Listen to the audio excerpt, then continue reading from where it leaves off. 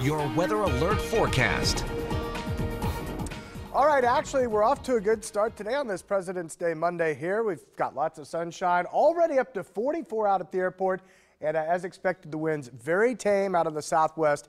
Right now, only 9 miles per hour. As we look elsewhere, temperatures generally in the 40s along I-80 and south. Right now, Nebraska City 46.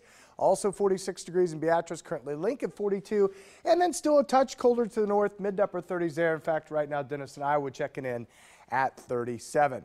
All right, as we go to southwest Omaha, you can see from Dodge Street back toward 168th all the way down toward Harrison. Right now, mostly sunny conditions. We are dry after our little weather system moved across the area overnight.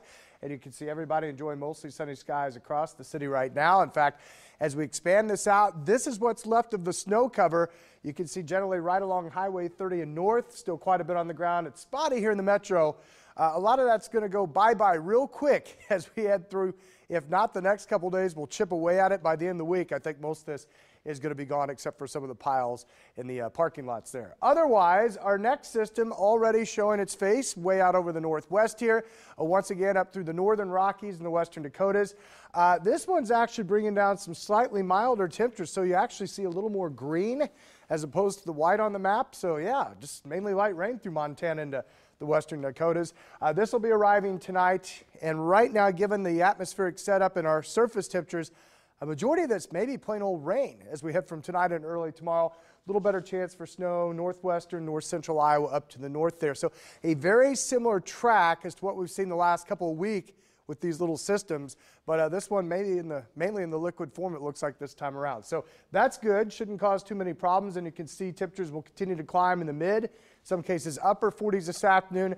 There's the clouds, there's the sprinkle and shower chance as we head from late this evening through the overnight, and can see the majority of that is out of here by early tomorrow morning. So mostly sunny as we head through the afternoon, 47 with the light wind.